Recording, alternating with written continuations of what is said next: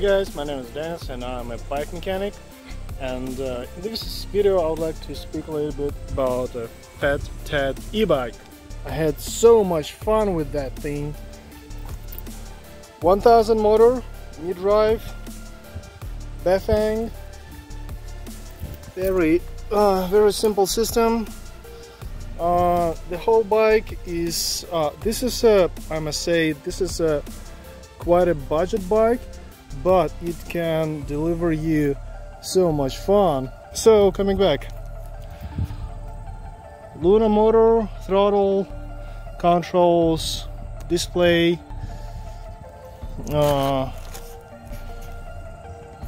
shifting sensor 8 speed cassette which is uh, really good.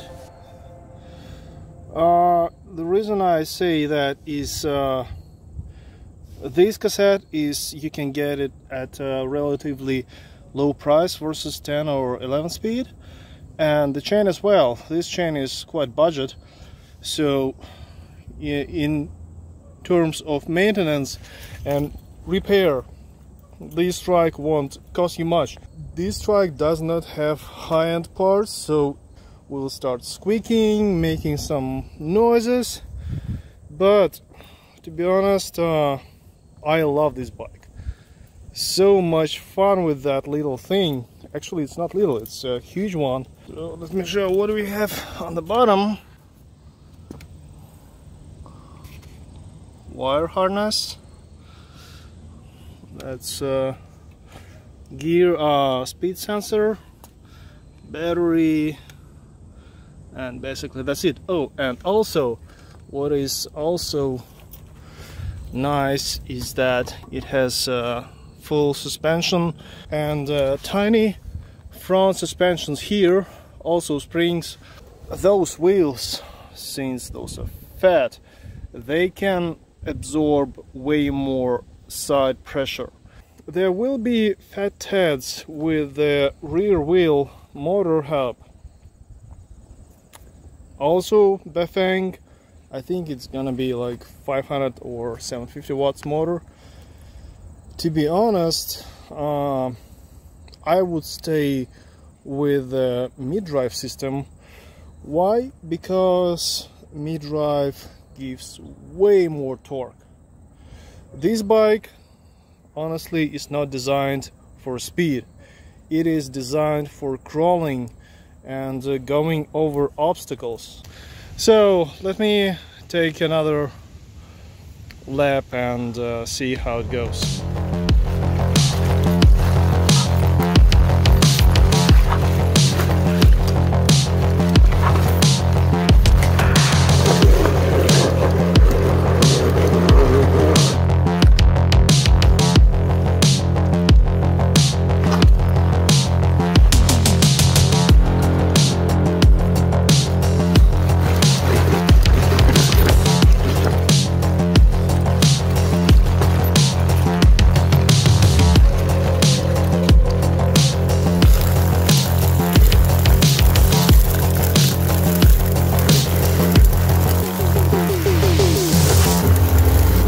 On my trip I met uh, four guys with a full suspension mountain bikes and they really never see anything like that. So they started watching and uh, taking pictures on the trike and meanwhile I looked at their uh, machines. So what do we have here? Giant, intense, nice. Yeti. Expensive uh, bike. The best. How about your bike? Um, How much does this goes for? Seven grand.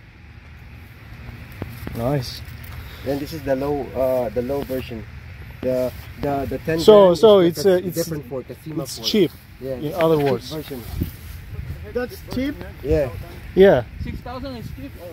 The the ten grand is the Casima Sport, but it's the same same model, but it's just it's more bling into it.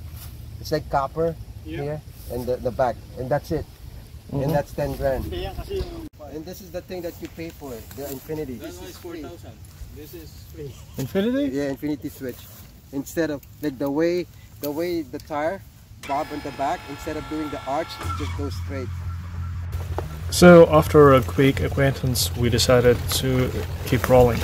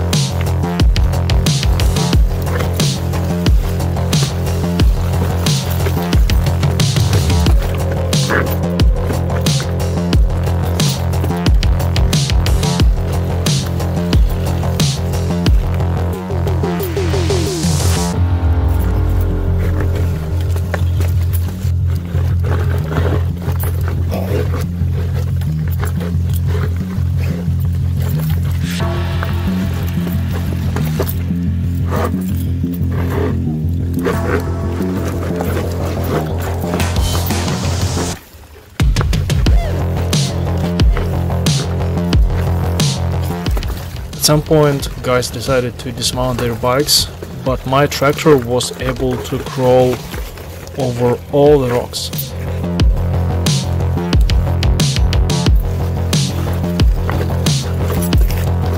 Eventually, I had to dismount as well to move the trike over the log lane across the trail. Uh, so, let me give you some tips how to maintain your trike. I would do this as a routine operation. So, step number one: sit on the trike, grab grab the brake, and try to wiggle it. Uh, make sure that it's nothing is moved. Uh, make sure that uh, headset is tight. Sometimes it happens when you make a sharp turn or you need uh, you're applying some extra force. You can uh, tilt this uh, headset so this bolt may become loose, and as a result, uh, the he- the whole headset, the whole stand will become loose, and as you wiggle it, you will feel, especially here. Check brakes when checking brakes make sure that uh, when applying uh, brakes the rotor is not touching the outer wall other wall of the brake caliper. The same thing on the other side wiggling checking making making sure that, that no parts are moving. And uh, this is i would say the first step. The second step would be raising the uh, rear wheel on some box uh, something I found a cone here and uh, checking gears. Make sure that all the gears are working fine without skipping. As you checking gears also check your chain especially uh, the mark to check uh, to take a closer look at the chain would be if you're riding and uh, from time to time you, you hear some clicking sounds not very often but you make sure you're sure that you're not shifting gears but you hear some click click means that the chain got damaged and you need to find that broken link. Otherwise uh, you will lose the chain in the middle of the trip. And the third step I would say tilting your trike on a side and uh, inspecting all the joints uh, get a screwdriver wrench and uh, make sure that all the bolts are tight. And the last thing but not least is uh, making sure that front wheels are aligned you can take measurement with a um, tape measure or there is a special rod with numbers uh, that you can stick in between and make sure that wheels are aligned.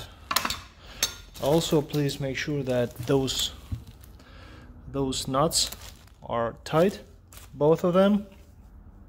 And this rod is not rotating. That's it. This strike is it's time for me to pack and ship this strike